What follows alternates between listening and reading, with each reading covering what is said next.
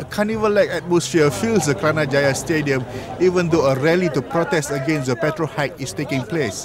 The stadium sees a sea of red with thousands of the protesters wearing red shirts inscribed with the word protest to watch their descent. Several NGOs and Pakatan Rakyat leaders have staged the rally and since morning, a few PKR and Hindraf leaders have rallied the crowd with speeches and calls for reform.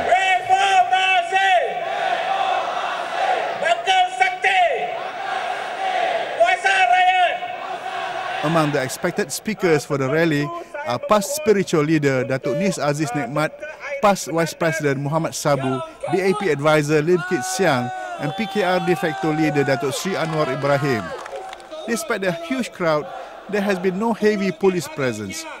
Only a few petrol cars have been seen monitoring the area.